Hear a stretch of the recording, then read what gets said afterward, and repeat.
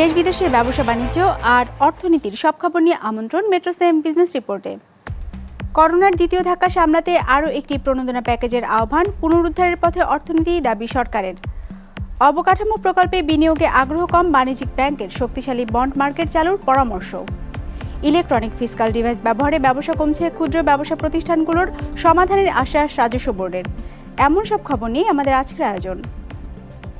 কোভিডের নেতিবাচক প্রভাব থেকে অর্থনীতি পুনরুদ্ধারে সরকারের আরও একটি প্রণোদনা প্যাকেজের দাবি উঠেছে। ব্যবসায়ী, অর্থনীতিবিদ আর দাতা সংস্থাদের মতে, ভাইরাসের দ্বিতীয় ঢেউ সামলে মানুষের জীবন আর জীবিকা টিকিয়ে রাখতে এর কোনো বিকল্প নেই। একই সঙ্গে চলমান প্রণোদনা প্যাকেজের সঠিক বাস্তবায়ন আর মূল্যায়নের পরামর্শ দিয়েছেন তারা। বৃহস্পতিবার রাজধানীতে করোনা মোকাবেলায় সরকারের প্রণোদনা কার্যক্রম নিয়ে এক আলোচনায় এসব কথা উঠে আসে।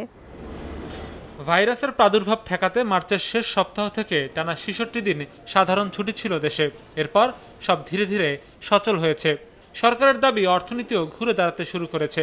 কোভিডের ধাক্কা সামলে চার ভাগের মতো আদায় বেড়েছে রাজস্বের। অক্টোবরে চট্টগ্রাম বন্দরের রপ্তানিমুখী কন্টেইনার হ্যান্ডেলিং পৌঁছেছে এক লাখ চল্লিশ হাজার টিউসে, যা করোনার সংক্রমণের আগের থেকেও বেশি। আগের বছর একই সময়ের চেয়ে বেড়েছে গ্যাস আর বিদ্যুতের চাহিদাও অক্টোবরে। That basically suggest that the industry industry open opened in full full, full scale and, and, and, and public are working, people are working there. তবে উল্টো চিত্রটাই প্রকট অর্থনীতিতে। রপ্তানি আয়ে এক ভাগেরও নিচে প্রবৃদ্ধি হয়েছে অর্থ বছরের প্রথম চার মাসে। আমদানি কমেছে সাড়ে এগারো ভাগ।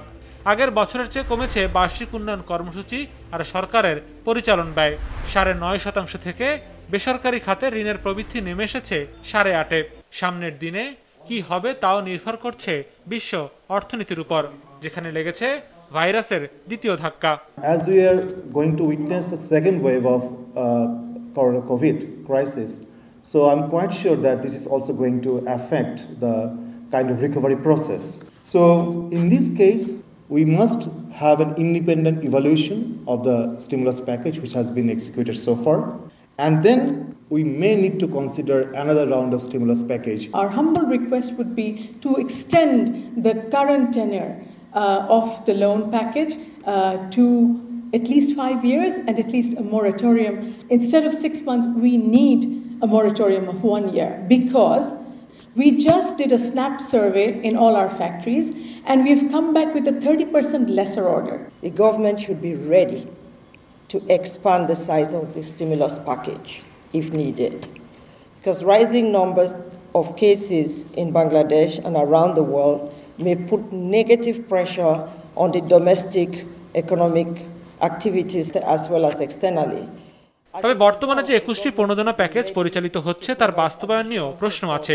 হিসেব বলছে, এর মধ্যে আটটির মাধ্যমে পঁচাশি হাজার সাতশো পঞ্চাশ কোটি টাকা উদ্যোক্তাদের ঋণ দেওয়ার ব্যবস্থা করা হয়েছে স্বল্প সুদে। অক্টোবরের প্রথম সপ্তাহ পর্যন্ত যার থেকে ছিচল্লিশ হাজার দুইশো বাউান্ন কোটি টাকা বিতরণ করা হয়েছে। ঋণ বিতরণের গড় হার চুয়ান্ন ভাগ হলেও ক্ষুদ্র মাঝারি শিল্পের বেলায় এই হার মাত্র একুশ ভাগ, জানিয়ে ক্ষুব্ধ সরকারের মন্ত্রীরাও। সাধারণ ব্যাংকগুলো কিন্তু তারা বড় পার্টি দেখে তাদের সুযোগ সুবিধা দেখতে চাই ছোট কাজ করতে গেলে এদের নিতে গেলে তাদের লোক জল বেশি দরকার পড়ে। রিটার্ন তেমন না, ভয় পায় যে টাকা পাবো কিনা। তবে শুধুমাত্র সবখানে লাভ দেখাচ্ছেও দেশের কথা চিন্তা করা, এই শ্রেণির কথা চিন্তা অর্থনীতি তাদের প্রভাব বিশাল। তাদেরকে চিন্তা করা দরকার। একই সঙ্গে কোভিডের কারণে ব্যাংক ঋণের কিস্তি পরিশোধের বাধ্যবাধকতা না থাকার স্থিতি অবস্থা আরও অন্তত ছয় মাস বাড়ানোর পরামর্শ আসে আলোচনায়। Sourav Rahman business report Maasranga television মুনাফার নিশ্চয়তা না থাকায় অবকাঠামো উন্নয়ন প্রকল্প অর্থায়নে আগ্রহ কম বাণিজ্যিক ব্যাংকের। বড় প্রকল্পে বিনিয়োগে অর্থের যোগানো বড় চ্যালেঞ্জ ব্যাংকের জন্য। তাই বৃহৎ প্রকল্পে বিনিয়োগের জন্য দীর্ঘমেয়াদী অর্থায়নের উৎস খুঁজতে হবে বাংলাদেশকে। শক্তিশালী করতে হবে বন্ড মার্কেটকে। বৃহস্পতিবার Bangladesh institute of bank management BIBM এর এক আলোচনায় এসব বিষয় উঠে আসে। সড়ক, উড়াল সেতু থেকে শুরু করে বিদ্যুৎ, পানি কিংবা তথ্য প্রযুক্তির মতো খাতে অবকাঠামো উন্নয়নে ছয়শো আট বিলিয়ন ডলার বিনিয়োগ প্রয়োজন বাংলাদেশের দুই হাজার চল্লিশ সাল পর্যন্ত। গ্লোবাল ইনফ্রাস্ট্রাকচার হাবের রিপোর্ট বলছে, বিনিয়োগের বর্তমান ধারা বজায় থাকলে এই সময়ে চারশো সতেরো বিলিয়ন ডলারের সংস্থান সম্ভব হবে, আর ঘাটতি থাকবে একশো বিরানব্বই বিলিয়ন ডলার। ঘাটতি মেটাতে তাই সরকারের রাজস্ব তহবিলের বাইরেও দীর্ঘমেয়াদী অর্থায়নের উৎস খুঁজতে হবে বাংলাদেশকে।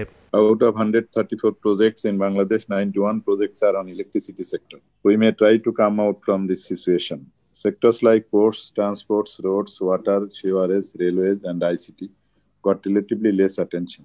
For financing all needed sectors, demanding areas of each sector are required to be identified and placed before the financiers with attractive financial features. সেই বিকল্প হতে পারে প্রকল্প অর্থায়ন, যেখানে বিভিন্ন উন্নয়ন সহযোগী সংস্থা ছাড়াও বিনিয়োগ আসে দেশের ব্যাংক ব্যবস্থা থেকে। তবে হিসেব বলছে অবকাঠামো প্রকল্পে এখন পর্যন্ত বাণিজ্যিক ব্যাংকগুলোর বিনিয়োগ নয়শো কোটি ডলার, যা দেশের মোট বিনিয়োগের দুই দশমিক ছয় ভাগ মাত্র। আমাদের ব্যাংকের সোর্সের ফান্ড যদি আমি এফডিআর বলি হাইয়েস্ট টেনার অফ এফডিআর যেটা আমাদের আমরা পাই আর কি, সেটা ম্যাক্সিমাম ক্ষেত্রে দেখা যায় যে দু বছর টোয়েন্টি ফোর মান্থস এর বেশি কিন্তু আমরা এফডিআর পাই না। আমরা যদি প্রজেক্ট ফাইন্যান্সিং বেসিসে যাই একটা ইনফ্রাস্ট্রাকচার ফাইন্যান্সিং করতে, যেটা রিয়ালিটি টার্মসে প্রজেক্টগুলোর ফাইন্যান্সিং যদি পনেরো বিশ বছর না হয়, তাহলে কিন্তু এই প্রজেক্ট আপনার ডেট সার্ভিসিং করা কিন্তু একটু কষ্টকর হয়ে so unless and until there is certainty of cash flow from the project for we can never ask a bank or a financial institution to rely only on those cash flow for project financing. অবকাঠামো খাতে অর্থায়ন সহজ করতে ইটকল কিংবা বিআইএফএফএল এর মতো সরকারি সংস্থাগুলো সফল হয়নি খুব একটা এ অবস্থায় দীর্ঘমেয়াদে অর্থের উৎস হিসেবে পুঁজিবাজার এবং বন্ড মার্কেটকে শক্তিশালী করার বিকল্প দেখছেন না বিশ্লেষকরা বড় বড় আমাদের সরকারি ব্যাংকগুলা তাদের তাদের তাদের যে মেশিনারি তাদের যে বড় ডিপোজিট বেজাস ইত্যাদি ইত্যাদি, তারা তো একটা গুড গ্যারান্টিং পেতে পারে সরকার থেকে। থার্ড পার্টি গ্যারান্টি তারা কিন্তু বন্ড ইস্যু করতে পারে। তাদেরকে ইন্টারন্যা তারা তো ইন্টারন্যাশনাল ফ্লোটিংয়ে যেতে পারে বন্ডে তারা শুধু লোকাল ফ্লোটিং করবে তো ইন্টারন্যাশনাল ফ্লোটিং যেতে পারে বন্ডে এই জিনিসটা চিন্তা করা- উচিত। তবে দীর্ঘমেয়াদী অর্থ পেতে প্রকল্পকে লাভজনক করাও জরুরি, আর এর জন্য সঠিক পরিকল্পনা এবং নির্ধারিত সময়ে তার বাস্তবায়ন নিশ্চিত করার উপরেই জোর দিয়েছেন বিশ্লেষকরা। Shahadat Hossain, business report Maasranga television. Electronic fiscal device বা ইএফটি ব্যবহারের ফলে ব্যবসা কমেছে ক্ষুদ্র ব্যবসা প্রতিষ্ঠানগুলোর। ব্যবসায়ীদের দাবি, ভ্যাটের বাড়তি টাকা না দিতে ইএফটি মেশিন নেই, এমন স্টোরগুলোতে চলে যাচ্ছে ক্রেতারা। ফলে অসম প্রতিযোগিতায় পড়তে হচ্ছে তাদের। বৃহস্পতিবার রাজধানীতে আয়োজিত এক সেমিনারে এসব কথা উঠে আসে। যে কোনো ব্যবসা প্রতিষ্ঠান, তা ছোট হোক কিংবা বড়, সব লেনদেন লিপিবদ্ধ হবে ডিজিটাল যন্ত্রে। যেখানে পণ্য বা সেবার দামের সাথে থাকবে মূল্য সংযোজন করের হিসেবও। বেচাকেনা সম্পন্ন হওয়ার সাথে সাথে তা তাৎক্ষণিকভাবে চলে যাবে রাজস্ব বিভাগে। এমন এক স্বয়ংক্রিয় ভ্যাট ব্যবস্থা গড়ে তুলতে গেল আগস্টে ঢাকা ও চট্টগ্রামের একশোটি ব্যবসা প্রতিষ্ঠানে বসানো হয়েছে ইলেকট্রনিক ফিজিক্যাল ডিভাইস বা ইএফডি বড় ব্যবসা উদ্যোগগুলো এর সুবিধা পেতে শুরু করলেও বেকায়দায় পড়েছে ক্ষুদ্র ব্যবসায়ীরা। ইএফডি দিছে আমাদেরকে যে চালান মেশিন এটা চালাইতে গেলে যদি ভ্যাট আমরা ওই হারে নিতে যাই কাস্টমার থেকে, মূলত আমাদের আর বেচা কিনা হচ্ছে না। আমার রেস্টুরেন্ট ব্যবসার সাথে আমি জড়িত রেস্তোরাঁ ব্যবসায়। এখন এই ব্যবসাতে দেখা যাচ্ছে যে আমরা প্রতিনিয়ত কাস্টমার খাবার খাওয়ার পরে একটা মানুষ যদি দেখে যে বাড়তি একটা টাকা অ্যাড করতে হচ্ছে, দুইশো টাকা খাইছে, তিরিশ টাকা তার বাড়তি অ্যাড করতে হচ্ছে। এখন সেক্ষেত্রে অনেকটাই প্রবলেম হয়। প্রতিটা দোকানে মেশিনটা বসানো হয়, তাইলে হয়তো দেখা যেতে পারে তারা হয়তো দিতে বাধ্য থাকবে। কিন্তু ওই গুটি কয়েক কিছু রেস্টুরেন্টে হোটেল ব্যবসায়ীদের মধ্যে এটা বিতরণের মাধ্যমে এটা আশা করা যায় না। যার কারণে বিরূপ প্রতিক্রিয়া দেখা যায় তাদের মধ্যে। তারা আসলে হয়তো এক দোকানে খাবে না, আরেক দোকানে একই জিনিস পাইতেছে। যারা সাধারণ জনগণ আছে, তারা পাশের হোটেলে চলে যাবে। আগামী বছরের মাঝামাঝি নাগাদ সারা দেশে এক লাখ ইএফডি স্থাপনের পরিকল্পনা রয়েছে এনবিআরের। ধাপে ধাপে দেশের সব ব্যবসা প্রতিষ্ঠানকেই নিয়ে আসা হবে এর আওতায়, যা অসম প্রতিযোগিতা দূর করবে বলে আশাবাদী সংস্থাটি। অনুষ্ঠানে জানানো হয় যেসব প্রতিষ্ঠান ইএফডি ব্যবহার করবে তাদের প্রতি সহনশীল থাকবে রাজস্ব বোর্ড। এখনও আমরা সব জায়গায় যেতে পারিনি কিন্তু পর্যায়ক্রমে যখন একটা মার্কেটে সবাই নিয়ে নিবে তখন এই প্রশ্নটা আসবে না যে আমার পার্শ্ববর্তী দোকান না দিলে আমি অসম প্রতিযোগিতার মধ্যে পড়ব। বিকজ সবাই তখন এই সিস্টেমের মধ্যে চলে আসবেন সরকারের এরকমই পরিকল্পনা। আপনার যদি কোনো সব কোনো দিন বিশেষ দিন বা কোনো সপ্তাহে সেট না থাকে আপনার ভ্যাট হবে না। আমি আশা করব যে আপনি আমাদেরকে সহযোগিতা করবেন। এবং কোনো ধরনের জাতীয় রাজস্ব বোর্ডের কর্মকর্তাদের পক্ষ থেকে, জাতীয় রাজস্ব বোর্ডের পক্ষ থেকে যদি আপনাকে কোনো ধরনের সহযোগিতা করা দরকার, আমরা সেটা করব। জানুয়ারি মাস থেকে আমরা এই ইএফটি মেশিন থেকে যে ইনভয়েসগুলো হবে, সেই ইনভয়েসের উপরে আমরা লটারি করব। সেটার জন্য কি হবে? সে তখন খুঁজবে যে কোন জায়গায় লটারির টিকিট পাওয়া যায়। অর্থাৎ কোন দোকানে ইএফডি মেশিন আছে? তখন আপনার দোকানের সেল বেড়ে যাবে, বিক্রি বেড়ে যাবে। ভ্যাট ব্যবস্থায় স্বচ্ছতা আনা গেলে রাজস্ব আহরণ বাড়বে যা পরবর্তীতে কর হার কমিয়ে আনার সুযোগ তৈরি করবে বলে জানানো হয় অনুষ্ঠানে। Imtiaz Hasan business report Maasranga television. পানি নিষ্কাশন খালে বাঁশের চটার ঘন ঘন বানা দিয়ে মাছ চাষ করায় কুষ্টিয়ার নওদা খেমিরদিয়ার এলাকার মওলা বিলের পানি নামছে না। এতে শত শত একর জমি এখনও পানির নিচে। ফলে আমন ধান আবাদ করতে পারেননি প্রায় তিন হাজার কৃষক। এখন বোরো ধান রোপণ নিয়েও শঙ্কায় তারা। কুষ্টিয়ার প্রতিনিধি ফাইজার চৌধুরীর পাঠানো তথ্য ছবি নিয়ে ডেস্ক রিপোর্ট। কুষ্টিয়ার ভেড়ামারার হিসনা নদী ও বিলসুকা খালে বাঁশের বানা দিয়ে তৈরি সারি সারি ঘের। এগুলোতে মাছ চাষ করছেন এলাকার প্রভাবশালীরা। বানার সরু চটার ফাঁকে আবর্জনা জমে থাকা এবং নিচে পলিথিন ও মাটির বাঁধ দেয়ায় বিল থেকে পানি নামতে পারছে না। এর ফলে নওদার খেমেরদিয়া এলাকার মৌলার বিলের কয়েক হাজার একর ফসলি জমি এখনও পানির নিচে। আমন মৌসুমে কৃষকরা চাষ করতে পারেননি ধান রোপণ করতে পারেননি শীতকালীন সবজিও। একবার ধান লাগাইছিলাম ডুবে গেছে। ধান লাগাবো চৈতলি খেসারি বুনবো ধরেন কোনো কিছু পাচ্ছে না। জমি চাষ করতে পারছি না বড় ধানের চারা দিতে পারছি না এই জলাবদ্ধতার কারণে। তামাকে চাষ করি সর্ষার চাষ করি আবার এই বিভিন্ন ধরেন আমাদের চৈতালি ফসল করি কিছুই আমরা করতে পারব না বছরে কৃষকদের অভিযোগ এ ব্যাপারে প্রশাসন আর জনপ্রতিনিধিদের দাঁড়ে দাঁড়ে ঘুরেও কোনো লাভ হয়নি। আমরা টিওন অফিসে গেছি। টিওন বলছে যে পানি বের করার কোনো একতার নাই। পানা আছে পানা সাফ করতে হবে। টিওন ওখানে গেছে কি না থাক টিওনই জানে। তারপরে পৌরসভার চেয়ারম্যানের কাছে গেছি ডিসির কাছে হ্যালো করেছে পৌরসভার চেয়ারম্যান বলে এখন বলিয়ে দিলাম এখন আল্লাহ যা করে। আমরা গরিব মানুষ আমার কোনো দাম দেয় না। কৃষকদের দুর্ভোগের কথা স্বীকার করে স্থানীয় কৃষি বিভাগের কর্মকর্তা জানান ঊর্ধ্বতন কর্তৃপক্ষকে জানানো হয়েছে। দ্রুত বিষয়টি সুরাহা করা হবে।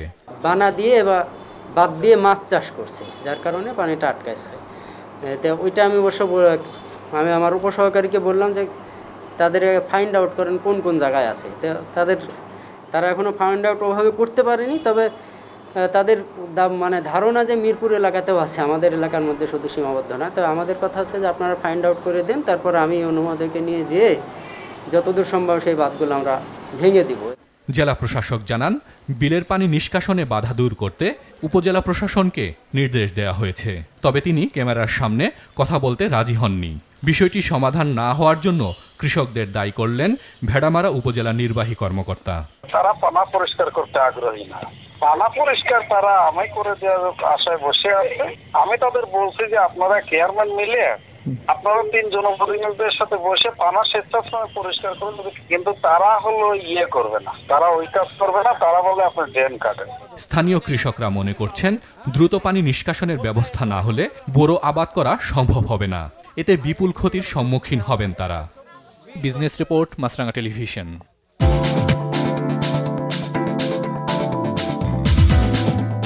ইতিবাচকভাবে সপ্তাহ শেষ করেছে ঢাকার পুঁজিবাজার। সার্বিক সূচক ডিএসিএক্স সাত পয়েন্ট বেড়ে দাঁড়িয়েছে চার হাজার আটশো উনসত্তরে। লেনদেন হয়েছে সাতশো আটান্ন কোটি টাকার। হাতবদল হওয়া শেয়ার ও মিউচুয়াল ফান্ডের মধ্যে দর বেড়েছে একশো বিশটির। কমেছে একশো উনিশটির আর অপরিবর্তিত রয়েছে ছিয়ানব্বইটির দর। এবার বাজার নিয়ে বিশ্লেষণ শুনব অ্যালায়েন্স ক্যাপিটাল অ্যাসেট ম্যানেজমেন্টের। আজ ঢাকা স্টক এক্সচেঞ্জে মূল সূচকের আগের দিনের চেয়ে zero point one four percent বেড়ে উত্থানে শেষ হয়েছে লেনদেন। দেশের সবচেয়ে বড় আইপিও সাবস্ক্রিপশনের শেষে বিনিয়োগকারীরা অ্যাক্টিভ ছিলেন সেক্টর স্পেসিফিক স্টকসে। Thirty nine point four five percent জুড়ে মার্কেটে ডমিনেট করে insurance followed by pharmaceuticals and chemical sector and mutual funds at eleven point two four and eleven point zero seven percent respectively top শেয়ারসের মধ্যে রয়েছে Beximco pharma Beximco Nitol insurance mercantile insurance এবং Pragati insurance ইত্যাদি। চলে গেলেন ফুটবলের কিংবদন্তি খেলোয়াড় Diego Armando Maradona সাফল্য আর বিতর্ক যেন ছিল তার নিত্যসঙ্গী। দরিদ্র পরিবার থেকে বেড়ে ওঠা ম্যারাডোনার শেষটাও ছিল আর্থিক টানাটানিতে পূর্ণ। যদিও ইউরোপিয়ান ফুটবলের একসময় ট্রান্সফার ফির রেকর্ড গড়েছিলেন তিনি। বেতন নিয়েছিলেন তিন মিলিয়ন ডলার। ডেস্ক রিপোর্টে বিস্তারিত। একা একটি দেশকে বিশ্বকাপ জেতানো ম্যারাডোনা আগাগোড়ায় ছিলেন প্রাদপ্রদীপের আলোয় থাকা এক অদ্বিতীয় ফুটবলার। নব্বইতে ফাইনালে খেললেও বিশ্বকাপ জিততে না পারার কান্নার রেশ আমেরিকা মহাদেশ পেরিয়ে ছুঁয়েছিল দেশে দেশে। শুধু বিশ্বকাপ নয়, ক্লাব ফুটবলও ছিলেন অবিশ্বাস্য। নিজের সময়ে রেকর্ড পারিশ্রমিকে যোগ দিয়েছিলেন বার্সায়। উনিশশো বিরাশি সালে বার্সেলোনায় যোগ দেন প্রায় চার মিলিয়ন ডলারের চুক্তিতে। এরপর বার্সা ছেড়ে এক কোটি ডলারে যোগ দেন ইতালির অখ্যাত ক্লাব নেপোলিতে, বেতন তিন মিলিয়ন ডলার। সেটিও আগের সব রেকর্ড ভেঙে দিয়ে। এর পরের অংশটি নেপোলির জন্য ইতিহাস। I think expressed perfectly what this the amount of joy and the pleasure and the, and uh, his commitment for his uh, the world football. He made the world football better.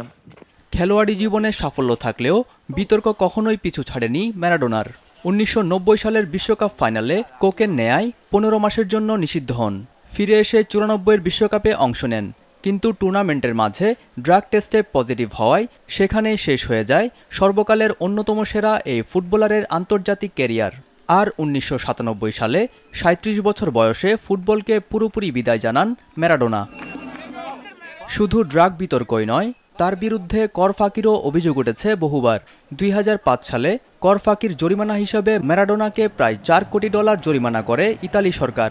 যদিও ম্যারাডোনার অভিযোগ ছিল, ন্যাপোলির করের এই জরিমানা তিনি দুই হাজার তিন সালে পরিশোধ করে দিয়েছেন। আমি তো বুঝতে পারছি না কেন ইতালির বিচার বিভাগ আমার কাছে চল্লিশ মিলিয়ন ইউরো চাচ্ছে। আমার কাছে আজ এত টাকা থাকলে তো আমি এখানে থাকতাম না। দুই হাজার দশ সালের বিশ্বকাপে আর্জেন্টিনার কোচ হিসেবেও দায়িত্ব পালন করেন ম্যারাডোনা, যদিও সফল হতে পারেননি। আর জীবনের শেষ দিকে মেক্সিকোর একটি ক্লাবের কোচ হিসেবে দায়িত্ব পালন করেন মাসিক মাত্র পনেরো হাজার ডলার বেতনের বিনিময়ে। এক্সপ্রেস ডট কমের হিসেব অনুযায়ী মৃত্যুর সময় তার সম্পদের পরিমাণ ছিল মাত্র এক লাখ ডলার। মুস্তফা তাহান, বিজনেস রিপোর্ট, মাছরাঙ্গা টেলিভিশন। দর্শক, আমাদের যে কোনো পর্ব নিজেদের সুবিধাজনক সময় দেখতে সাবস্ক্রাইব করুন বিজনেস রিপোর্টের অফিসিয়াল ইউটিউব চ্যানেল। ফেসবুক পেজে লাইক দিয়ে আপডেট থাকুন ব্যবসা বাণিজ্যের আলোচিত সব ঘটনা সম্পর্কে। আর আপনাদের মতামত জানান ইনবক্সে আজ এটুকুই, বিদায় নিচ্ছি, ভালো থাকবেন।